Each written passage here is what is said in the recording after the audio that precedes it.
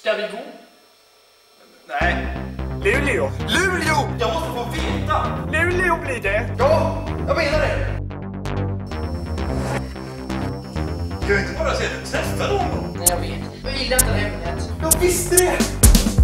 Är det här eh, kön? Nej. Nej, inte direkt. Vad menar du med det? Han är lite udda. Du är taskig.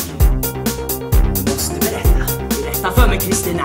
Jag, jag är han som du pratar så mycket om, gör väl det? Det känns inte riktigt rätt. Ska, ska vi kanske satsa på det? Vad har vi att förlora?